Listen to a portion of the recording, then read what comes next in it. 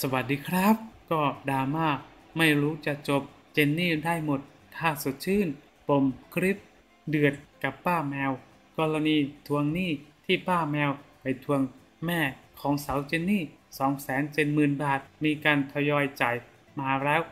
120,000 บาท ยังคงเหลืออีก 150,000 บาท ส่วนเรื่องของความรักครั้งใหม่ของแม่เจนนี่ที่มีกระแสเมาส์กัน ว่ามีการไปแย่งของคนอื่นมาป้าแมวเผยว่าไม่ทราบเรื่องทราบแค่เรื่องเงินที่มายืมไป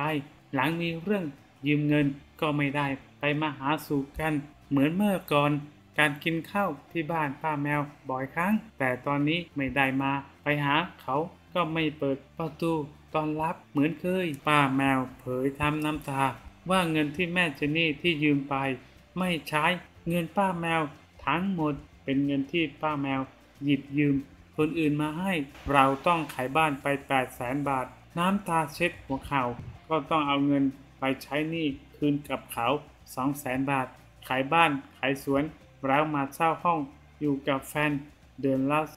2,500 บาท ขายไม้ยางไป 3 ไร่ ได้เงินมา 180,000 บาท รวมเงินเพื่อตั้งตัวใหม่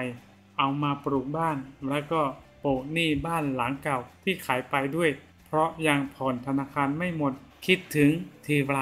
จุกที่หัวใจทุกที น้ำตาตกใน